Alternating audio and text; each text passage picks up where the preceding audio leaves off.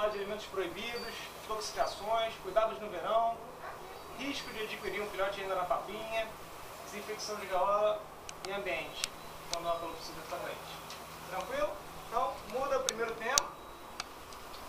Então, a primeira muda da calopsita, de 4 a 6 meses de idade, tá? ela faz a primeira muda é, depois da, da gininha. Ela na, em pena, de 4 a 6 meses ela faz a primeira muda, tá? É, frequentemente após o período reprodutivo que ela faz muda, tá? Mas é, em psitacídeo isso não está tão bem definido, porque na natureza eles têm a estação do ano bem definida, tem um próprio período.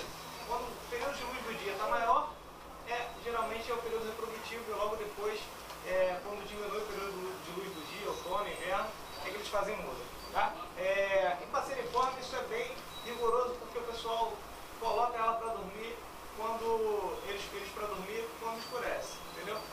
Calopsita vocês, apesar de eu falar sempre, acordou, clareou, é, clareou, acordou, escureceu, dormiu, ninguém faz. Ali ó, tem uma ali, rindo ali. Filma, filma ela. Filma ela. Ah.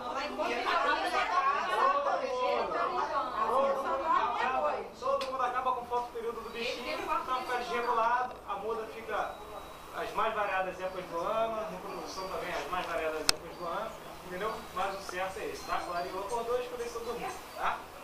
É... De diagnóstico diferencial para muda, mudança brusca de alimentação, automutilação, restrição alimentar, coccidiose, isso tudo pode fazer caipira, tá? É... Mudança brusca na alimentação. Vai levar um estresse crônico, esse estresse crônico vai dar um desequilíbrio hormonal e esse desequilíbrio hormonal vai levar a muda, tá?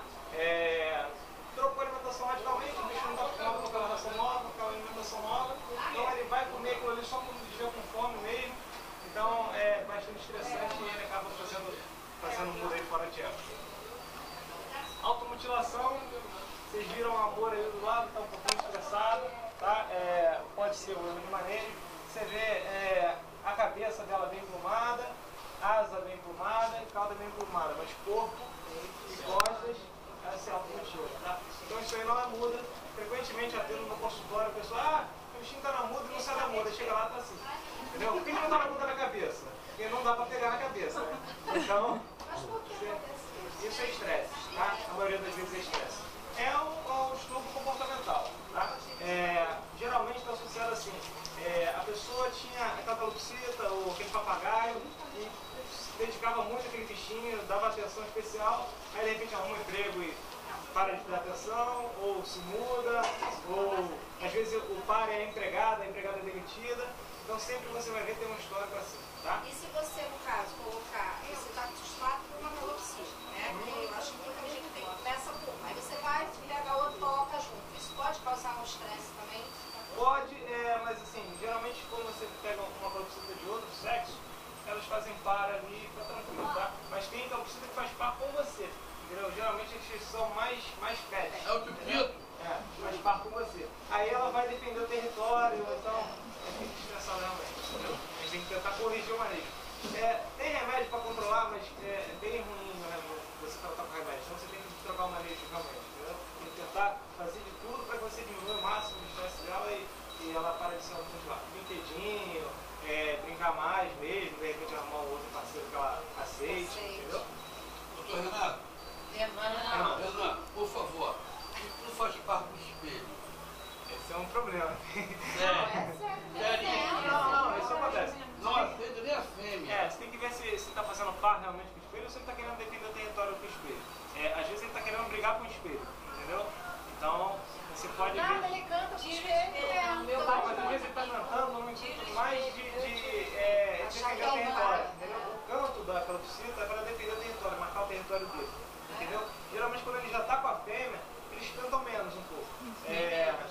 canta. Ah, eu não canto, mas tá sempre que eu cantava, cantava lindo o hino do Vasco, entendeu?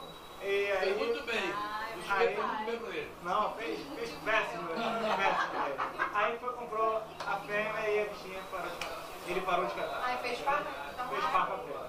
Cruza lá e tal. e foi. Não, não, mas eles. É, tira o espelho, tira o espelho. Pô, tira, fica enlouquecido. Ele comprou todos os espelhos da casa. Ele pegava o cheiro do banheiro que é de inox. Você tem noção pra isso? Eu fico olhando na vasilha. Aí quando eu chego na porta do banheiro que ele me vê, ele vem correndo pra picar meu pé. Eu falei, que que é isso, gente? Ele tem que trepar, lixeira, tudo. Eu adoro o espelho. É, vai, vai tirando. Bom, isso é uma terapia. A gente vai. Tem homeopatias pra isso também, pra controlar um pouco, tá? De repente, se você diminuir também esse ponto período aí, começar a botar ele pra dormir um pouco mais cedo, ele começa a sair desse período reprodutivo de mais estabilidade dele, entendeu?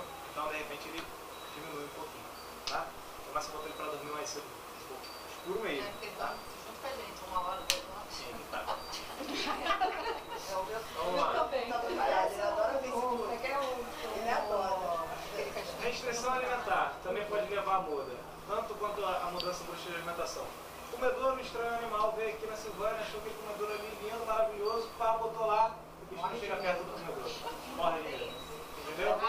Mudou o ambiente, chegou lá, pô, botou do lado daquele quadro que você acha lindo, o quadro tem um gavião lá, o bicho não- Comprou um brinquedo novo, pá, botou um penduricalho lá na gaiola lindo. Caiu o chapéu na cabeça O bicho corre lá na gaiola, fica lá do outro lado. Então, pra é, acostumar esses objetos novos, novos com o bichinho, coloca do lado de fora da gaiola primeiro, tá? É, vai dando comidinha perto, tal, você, se ele comer na sua mão, vai com um brinquedinho fazendo ele comer na sua mão, tá? Bem devagarzinho, porque isso aí também pode ser uma forma de restringir o alimento dele, entendeu? É, sem querer, você tá que- achando que está ajudando ele está atrapalhando ele. Então, isso aí também é um, um diagnóstico diferencial.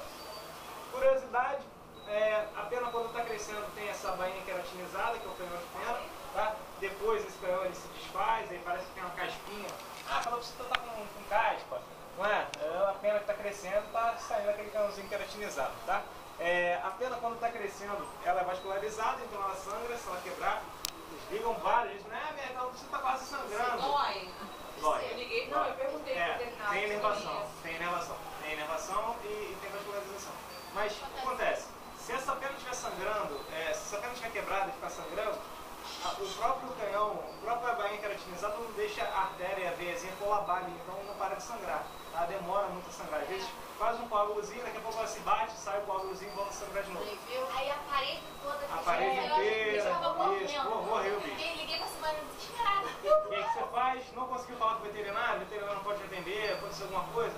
Pega lá na mão, pede alguém para te ajudar, segura a asinha do outro lado e puxa aquela, aquele canhão ali. Tirou o canhão, faz uma hemostasia por estiramento, não tem problema nenhum, não vai nada, não precisa passar nada. Sem, quer, quer passar alguma coisa para ficar feliz? Passa o mertiolate, tá? Mas assim, geralmente não infecciona, tá? É, não tem problema nenhum É da natureza da natureza. É, suplementação, todo mundo acha, ah, na muda tem que dar vitamina, é, tem que dar aminoácido. Depende, tá? É, depende do que, que o seu bicho come. Então, aqui, eu já falei bastante de alimentação na, na palestra passada, é, mas vou ter que repassar um pouquinho aqui porque nem todo mundo estava aqui. Então, é, sementes, todas elas são bem desbalanceadas, tá? Em relação ao fósforo, vitamina, aminoácido, tá? Então, eu costumo falar que a semente é um chocolate. Em vez de dar o pão, que o Ever estava falando aqui antes, dá o girassol, entendeu? Mas isso é bônus, isso aí não pode ser alimentação base dele, tá? O girassol ele tem papaverina, que vicia, tá? Uma substância viciante. Ele tem toxina de fungo pra caramba, que isso acumula no fígado. Ele tem é, muita gordura. É, ele tem 13 partes de fósforo para uma parte de cálcio, sendo que eles tinham que comer duas partes de cálcio para uma de fósforo. Então tem muito malefício e pouquíssimo benefício. O único benefício é ser barato. Entendeu? Qual é o problema? Eles geralmente não gostam da ração descruzada, tá? É, é, logo de cara. Você vai ter que ter um período de adaptação,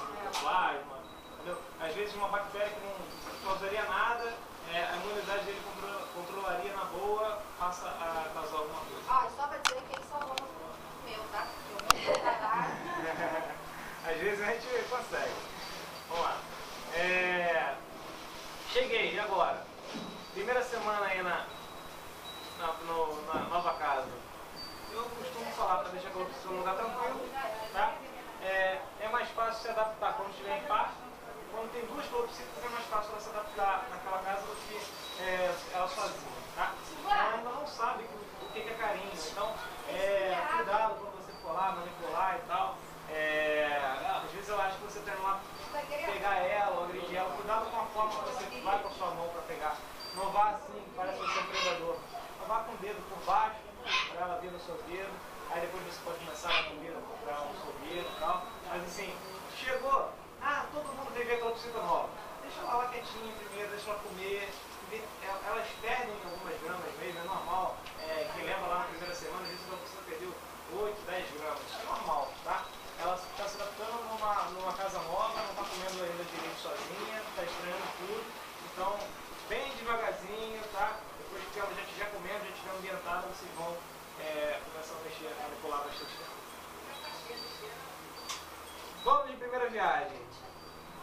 né. Tem algum lanche de primeira viagem? Todo mundo tem quieto que eu preciso já, né?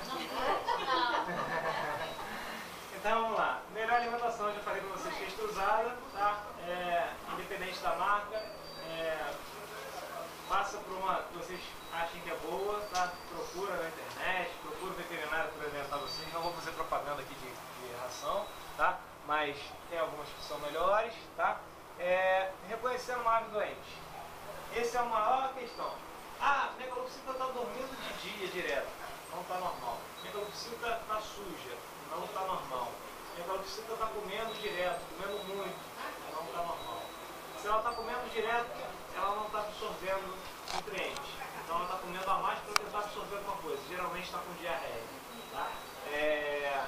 Se tiver uma secreção nasal, você começa a ver as perninhas aqui coladas, em volta do olho colada vacinas, é legal de vez em quando, seis, seis meses, vai no veterinário, faz os exames em fezes, faz o hemograma, como eu falei, eles mascaram doença, então é, antes que demonstre clínica mesmo, antes que apareça assim, vai no veterinário, faz os exames de sangue, isso tá tudo bem. Tranquilo? Às vezes a gente tem que entrar com algum antibiótico, alguma coisa,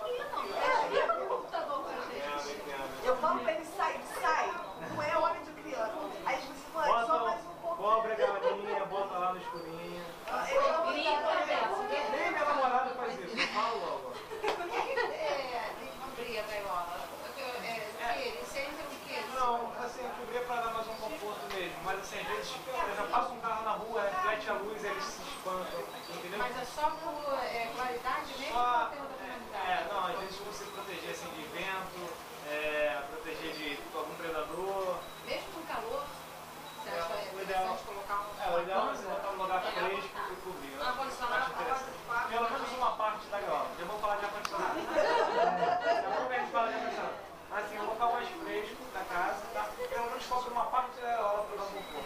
Outra coisa, para dormir, tenta colocar uma luzinha de guia, uma luzinha daquela de tomada. Pode ser uma verdinha, uma luzinha, não tem problema. Só para ela, se ela se espantar à noite, tem calor, precisa ter pânico noturno, se, se empolerar, isso aí, isso aí. Ela vai empoleirar de novo. Ela- O banho noturno nada mais é do que ela não consegue voltar para o puleiro às vezes, tá? Então, às vezes ela acorda para o pudim, sonhou, sonhou com o avião, pá. Aí você sai do puleiro e depois não consegue voltar para o puleiro. Tranquilo? Ah, dicas. Jamais solte sem supervisão.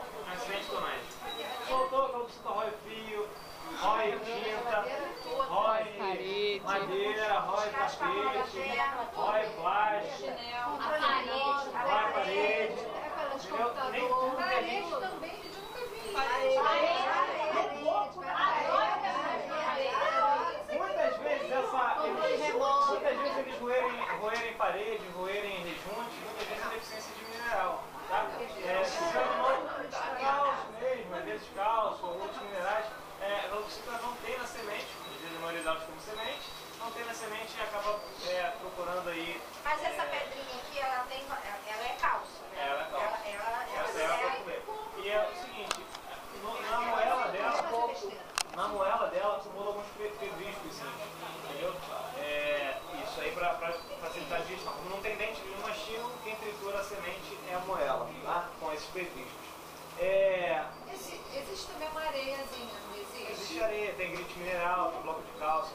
É, na natureza, o citacídeo, é, semente, como eu falei, ela é muito tóxica, até da natureza.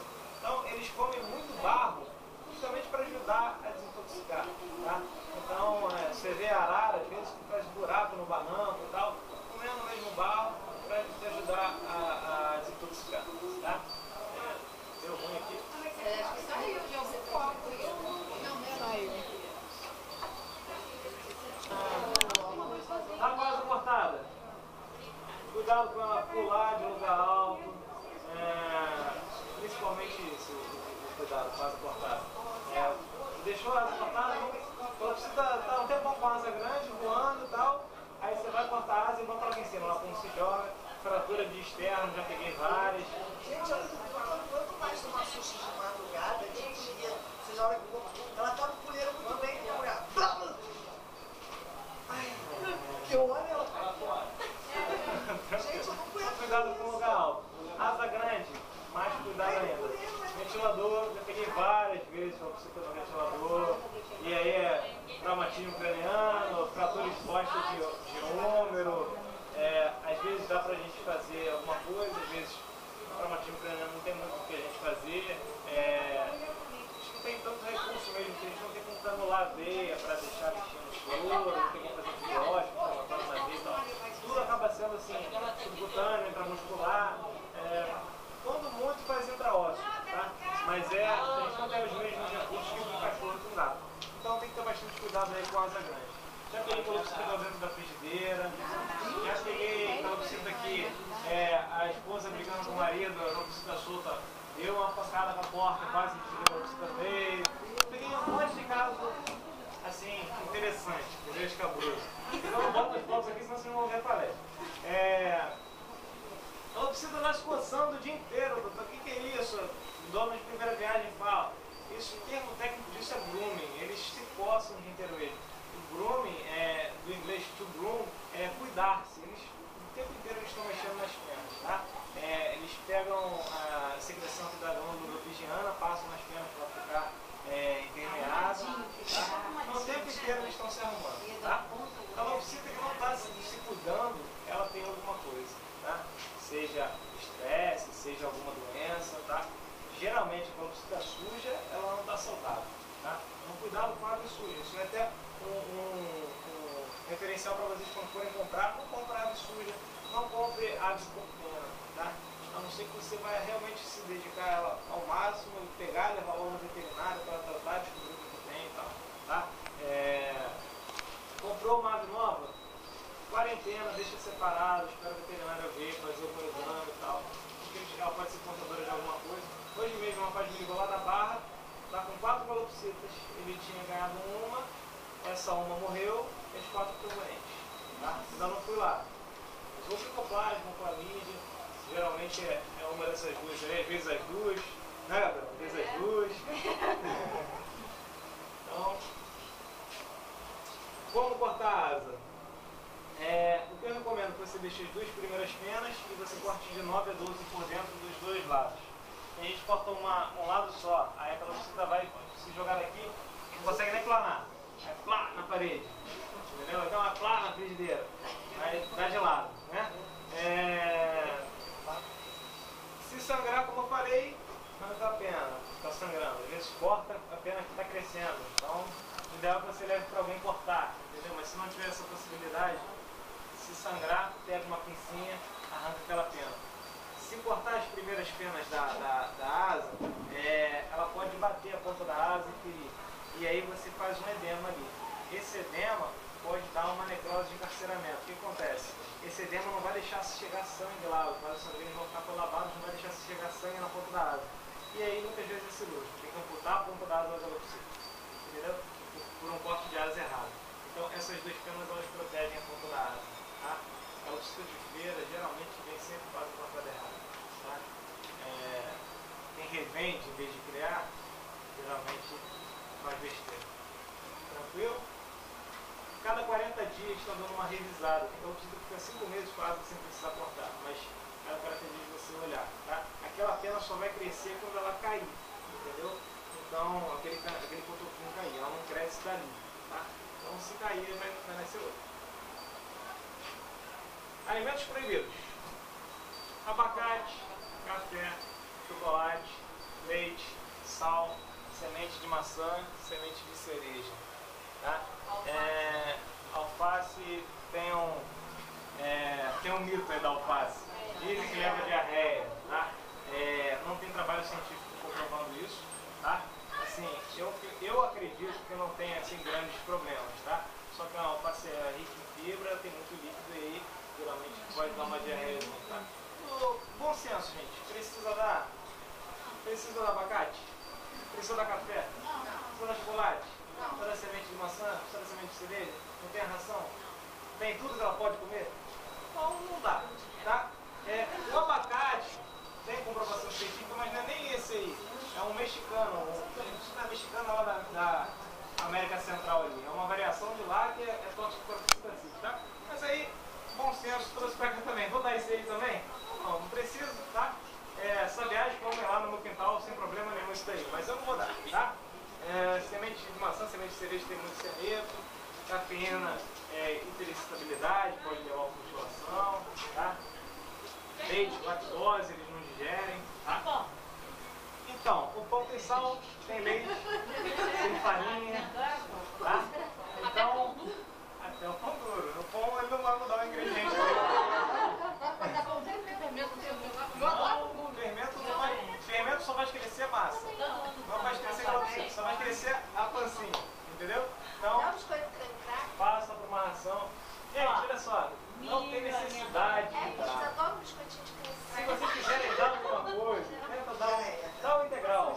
Pode dar? Dá um integral. Tá? É, eu não recomendo porque mesmo assim tem sal. Tá? Então, o ideal é que vocês tentem dar alguma coisa para a calopsita mesmo. É na milho.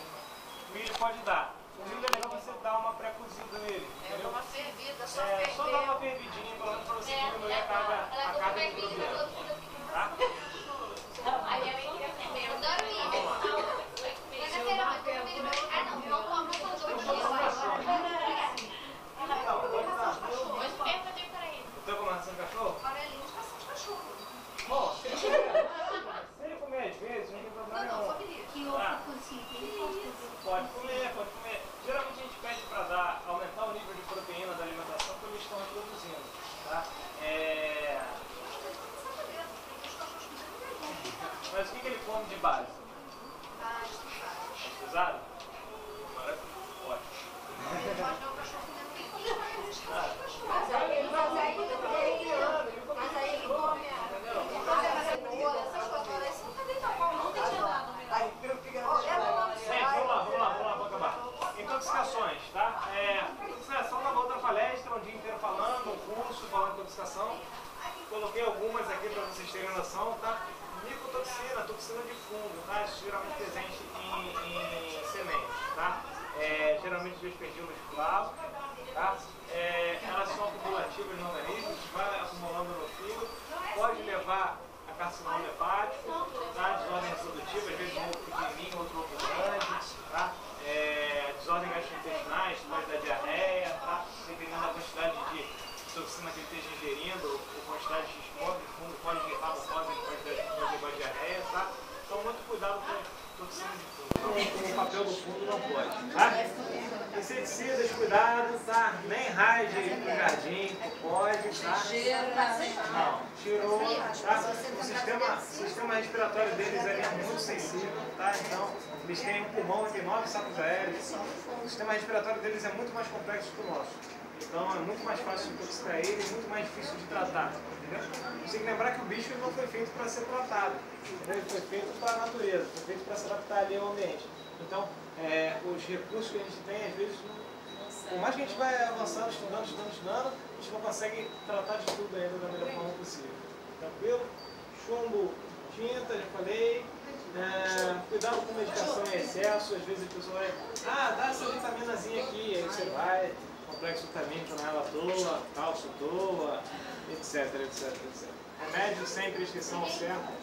Plantas tóxicas, botei só planta ornamental tóxica, tá? Tem um monte de outras plantas tóxicas. Mas, olha lá, comigo ninguém pode, copo de leite, taioba brava, saia branca, bico de papagaio, coroa de Cristo, espirradeira. Cada uma com a sua toxina, cada uma com a sua particularidade. Pô, é raríssimo você chegar com uma calopsita, ah, ela comeu a planta tal. Então, é, é, a anamnese é muito importante. Eu tenho que ficar perguntando para vocês, vocês têm que saber me falar o que para ajudar a tratar. Entendeu? Então, muito cuidado. E, e não escondam o nome do veterinário, entendeu? Vai, vai mudar completamente.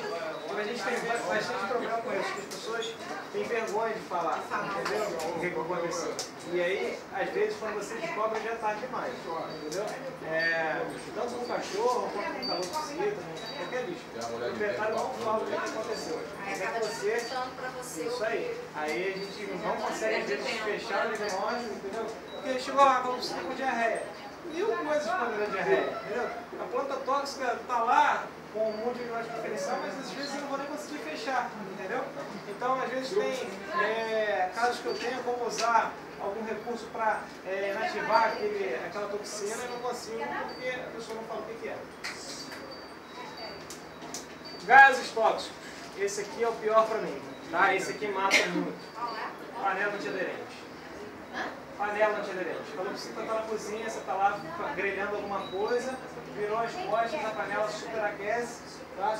Superaqueceu, ela, ela faz um gás tóxico que mata rapidinho, tá? É, politetrafluoretileno, não dá nem falar, é PTFA o, o, o, abreviação, tá? Gases tóxicos do cigarro, amônia, tolueno, cianeto, tem sei lá quantas mil substâncias tóxicas no cigarro. É, cuidado o irrita da mucosa. É, o saco aéreo das aves, na verdade a ave tem o pulmão e tem nove sacos aéreos. Quem expande são os sacos aéreos. A gente quem expande é o pulmão, tá? E nas aves quem expande são os sacos aéreos. Esses sacos aéreos eles são mal vascularizados, tá? Não chega bastante sangue lá. Então, é, para se tiver uma infecção no saco aéreo, é muito mais difícil de conseguir controlar aquela infecção, porque não chega célula de defesa lá também. Entendeu? Então, por isso que o sistema respiratório deles é muito mais sensível, tá? Então, se você irritar aquele saco aéreo, você vai facilitar a infecção, tá? Diminui o pH, irritou, diminui o pH da região, tá? Então o pH ali fica ácido e você facilita infecções, tá? Incenso, essência, tá? Fora do ambiente da calopsita. Faz lá na sala, tá? Cuidados no verão. Água, cuidado com a temperatura da água, ela pode ficar morna, se ela ficar morna vai dar diarreia com certeza. Isso que pode ser misturada, né? No verão. Pode ser misturada, tá? Mas assim. Não é- gelada, é, tipo é, é, fresco. fresco, fresco, tá? É, vegetais são importantes, mas ao mesmo tempo eles se decompõem muito mais rápido no verão, tá? Vão trocando sempre, tá? Isso é bom para hidratar, bom para interagir e tal, mas assim, tudo que tem nos vegetais tem na ração também, entendeu? Então não é necessário você dar também. Vegetal é muito legal pra gente, que a gente não come ração. Entendeu? Se a gente comesse ração, a gente não vai ter problema de colesterol, entendeu? Agora, no caso, o ovo, né? Que a gente pode... Esse Ovo. ovo, se botar de manhã, ele tem que ser retirado. Porque... É, primeiro o ovo, você tem que cozinhar ele por mais de 15 minutos. Sim, Tá? Começou a ferver a água, mais de 15 minutos para você erradicar a salmonela, tá? Aí você coloca lá, pode amassar e tal. Comeu, comeu, duas horinhas ali no máximo, tchau. Tá? Guardião, guardião, só, só ali. Não, não, Eu pode dar tudo, também. eu. Só triturar assim com...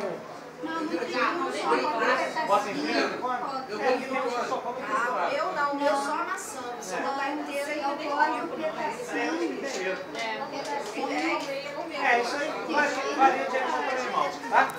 Ar-condicionado. Ar-condicionado! Ar-condicionado. Então, as calopsitas as calopsitas são da onde? Da onde vem calopsita? Austrália. Austrália. A Austrália ainda está um pouquinho acima do Brasil. Então, quase Equador. Quase na linha do Equador. É muito quente lá. Entendeu? É muito calor. Elas são acostumadas com calor, tá? Então, quando você coloca no ar-condicionado, além de você irritar mais a mucosa, por causa que o ar-condicionado é mais seco, você é, atrapalha a regulação térmica dela. Ela não, ela não sua, é, ela para se manter aquecida tem que ficar ficando eriçada, gasta muita energia para ficar quentinha, entendeu? Então, é, colocar o fresco, tá? É, de 18, entre 18 e 34 graus, sentado com a calopsita ficar tranquila na boa, tá? É, se tiver mais de 34 graus na sua casa, dentro de casa, coloca um ventilador não diretamente para ela, tá? É, pode ficar no ar-condicionado às vezes? Pode, não ar-condicionado gelado, tá? E nem você está no lugar quente e leva ela para o ar-condicionado. Esse choque térmico também é bem ruim para o sistema respiratório deles. Eles vão produzir muito mais muco é, para umidificar o ar. E esse excesso de muco também favorece a infecção, tá? Bactéria se prolifera ali, tá? Então, ar-condicionado Não é legal. não é legal, tá? Você vai no shopping, você tem lá as áreas vendendo no shopping no ar-condicionado, tá? Mas assim, Fica o dia inteiro naquele pé de choque dentro do é, ar-condicionado. eles estão ali há um tempinho, tá? Eles estão acostumados e o ar-condicionado do shopping geralmente não é tão fortão assim, tá? Geralmente a, loja também tem uma cortina de ar para não deixar Mas quando ela sair dali, ela vai ter uma. ali Pode ser que ela não se adapte também sem o Pode, ar-condicionado. pode, Tem que ser bem gradativo, tá? Então, entre 18 e 34 graus é aceitável, tá? Tem uma amplitude aí grande, tá? Risco de adquirir um filhote ainda na papinha, tá? É muito bom para ele se adaptar com você, tá? Mas você tem vários riscos. Então, às vezes, é, os palestrantes aqui divergem em algumas coisas. É, tá. Entendeu? Mas você que não tem experiência, você pode fazer uma broncoaspiração aí. Se você der comida, a papinha na boca, sem se você está com a sonda, se ele não estiver fazendo reflexo, ele pode respirar a papinha. Se respirar a papinha, faz pneumonia. Broncoaspirou faz pneumonia. Humano faz pneumonia. Tá? É horrível para tratar. Tá? Nebulização três vezes ao dia, com nebulizador ultrassônico, antibiótico injetável, anti-inflamatório injetável. Tá? É, a gente descobrir o que está causando. Tá? Mas é horrível de tratar. A imunidade do filhote é muito baixa ainda. Então ela vai para um lugar novo, cheio de patógeno novo, tá? Então a, a, a chance dela ficar doente na sua casa, ela entra na papinha, é muito maior. Porque a imunidade dela não combate ainda. No criador, aqueles, desde que nasceu, aqueles patógenos, aqueles micro-organismos todos que estão ali, o organismo dela está, tanto já vem a imunidade da mãe, tá no ovo mesmo, e, e o organismo dele já está se adaptando ali pela carga microbiana. Aí quando chega na sua casa, é outra carga microbiana, entendeu? Então, é, pode pegar alguma coisa. Frequência alimentar vai variar, tá?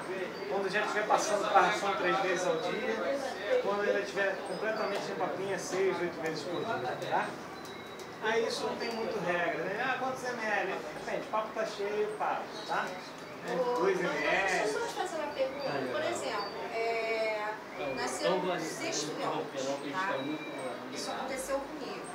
Um filhote, eu, eu não sei se é isso, né? É, todos eles ficaram bem, mas o último, eles mataram. É por não, não conseguir alimentar. O filhote- que eu tive depois de 25 dias eu dou a É, o primeiro filhote, ele é sempre o mais forte, tá?